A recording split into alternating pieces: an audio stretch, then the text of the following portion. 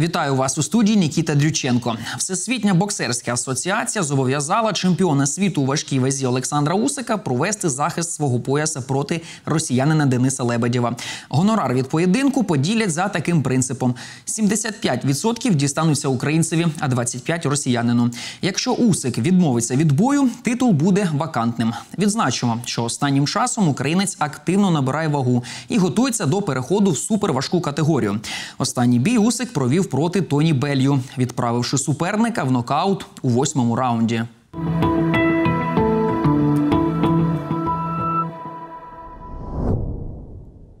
Виконком Федерації футболу України визначився з датою проведення матчів півфіналу Кубка країни.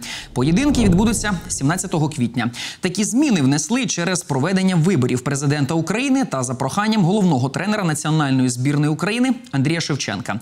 Нагадаємо, що у розіграші Кубка країни бере участь СК Дніпро 1 а також Динамо, Шахтар, Зоря, Ворскла, Карпати, Інгулець та Львів.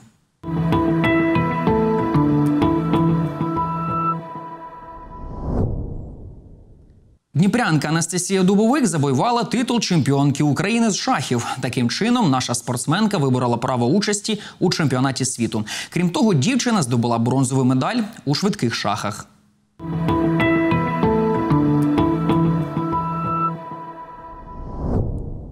Вихованці Дніпровської дитячо-юнацької спортивної школи номер 2 стали призерами всеукраїнського юнацького турніру та чемпіонату України серед юніорів зі стрибків на батуті, які пройшли у Харкові.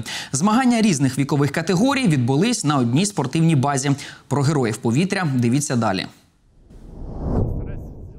Олександр Винокуров один з найдосвідченіших вітчизняних тренерів. У 70-х під час навчання у школі він став майстром спорту. А після закінчення вишу розпочав тренувати. Деякий час чоловік працював у Китаї. Його вихованці вибороли національну першість. А один із китайських стрибунів тренера став чемпіоном світу. Я ходил на работу как э, на праздник. Вот, и буквально приехали, ну, приглашение пришло с Египта, тоже на год, на два, на три, на, по контракту. Запрошення на роботу з різних країн приходять і досі. Проте Олександр Винокуров опікується місцевими спортсменами. Ванесі 11 років, а Поліні 10. Дівчата тріумфували на всеукраїнських змаганнях у синхронних стрибках. Мы начали отталкиваться, и мы с первых прыжков поймали друг друга и на одной высоте прыгали всю комбинацию. Мы ездили на два дня. В первом дне мы приходили опробовать батут. Во второй день э, уже были соревнования. 14-річна Ксенія Завгородня одна з найтитулованіших вихованок Олександра Винокурова. За час виступів на змаганнях різного рівня дівчина здобула більше 30 медалей, 15 з яких золоті. З чемпіонату України серед юніорів спортсменка привезла ще дві бронзові нагороди за індивідуальну програму та синхронні стрибки, де партнеркою Ксенії була представниця Херсона. Вообще это сложно, конечно, что это девочка из другого города, но нам дается время на разминку, как бы по 20 минут, и мы пробуем друг друга.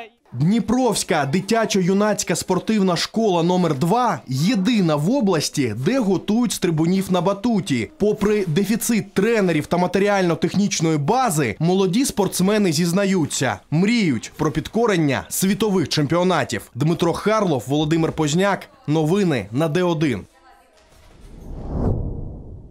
На сьогодні це всі спортивні новини. Побачимось вже завтра в ефірі каналу Д1.